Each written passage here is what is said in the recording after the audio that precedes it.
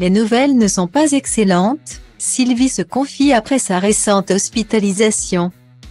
Le mardi 29 novembre dernier, Sylvie Ortega prenait la parole sur les réseaux sociaux après plusieurs jours d'absence. Par le biais de plusieurs stories, la veuve de Ludovic Chancel déclarait qu'elle se trouvait à l'hôpital. Désolée de ne pas répondre au téléphone. On ne peut pas dire que je suis au top de ma forme avait confié la mère de famille, avant de donner quelques détails sur les raisons de son hospitalisation. Hospitalisée en urgence depuis hier soir. Priez pour moi, s'il vous plaît, afin qu'on sauve mon unique et seul rein qu'il me reste. Les douleurs sont tellement intenses que même la morphine ne me calme pas, avait-elle déclaré.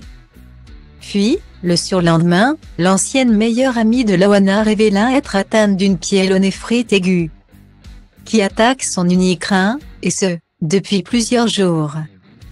Des douleurs intenses que je maîtrise dans le silence et le calme et avec l'aide de perfusion, bien que j'ai envie de m'arracher les cheveux et de pleurer. Avait-elle confié. J'ai enchaîné avec un début de septicémie, je vous épargne les détails de la souffrance. Ce qui compte, c'est que je sois vivante, je garde mes forces pour la nuit et demain car je ne sais pas ce qu'on va décider pour mon rein, avait-elle fait savoir, affaiblie.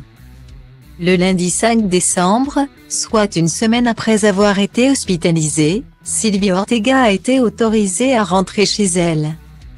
De retour sur Instagram, la jeune femme a expliqué que son rein fonctionnait à 30%.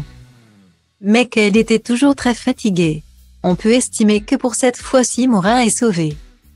Malgré ma fatigue, mon épuisement et mon mal-être, je peux dire que c'est mon plus beau cadeau de Noël. On a frôlé l'insuffisance rénale et peut-être pire encore. Hélas, je reste très faible. Tellement de souffrance que je veux tout oublier dès aujourd'hui, faisait-elle savoir. Et ce samedi 17 décembre, la grande amie de Pierre-Jean Chalençon s'est penchée sur son état de santé. Suite aux nombreuses questions des internautes et les nouvelles ne sont pas bonnes. Point. Vous êtes nombreux à me demander où j'en suis. Hélas, les nouvelles ne sont pas excellentes, a-t-elle commencé.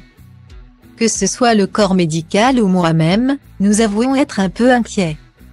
A-t-elle ajouté, précisant qu'elle avait tout de même réussi à se rendre à la soirée organisée par l'ancien acheteur d'affaires conclu au Palais Vivienne en fin de semaine.